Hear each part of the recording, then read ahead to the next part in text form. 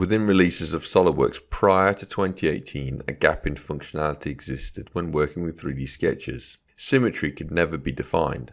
This meant symmetrical shapes built up from 3D sketches were either a lengthy process to create, each sketch item would have to be independently drawn, or symmetry would have to sometimes be defined at feature level, which wasn't always as effective within models.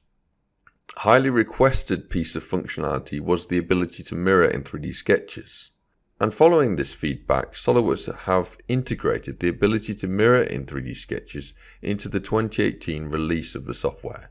It enables the creation of complex sketches very simply. We'll look at the workflow for this great bit of functionality in this short video. I'm going to start by mirroring a partially created sketch. Rather than the center line used for mirroring, planes are used to create 3D sketch mirrors. The mirror tool is the same as before, access from the sketch toolbar.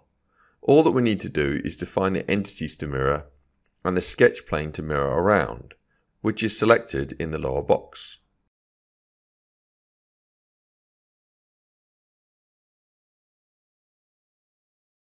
I'm now going to repeat the process to complete my sketch, mirroring around the front plane this time.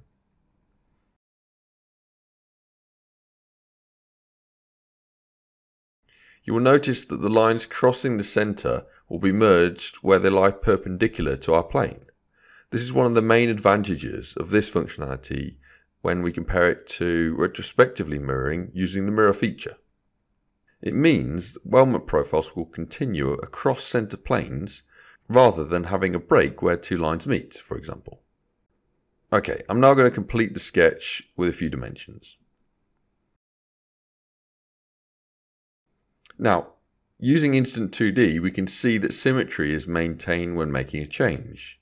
The functionality will work the same as in a 2D sketch, symmetric relations are used to define the locations for sketch entities. It's worth noting that the ability to mirror around planes will also work in 2D sketches. This functionality will allow you to build up extremely complex sketches very quickly, so keep this in mind when building up 3D sketches. My advice would be this functionality will work best if complex sketches can be broken up into several independent ones, making things a little bit simpler. Give this tool a go. It's a great addition to the software for 2018. Thanks very much for watching. Música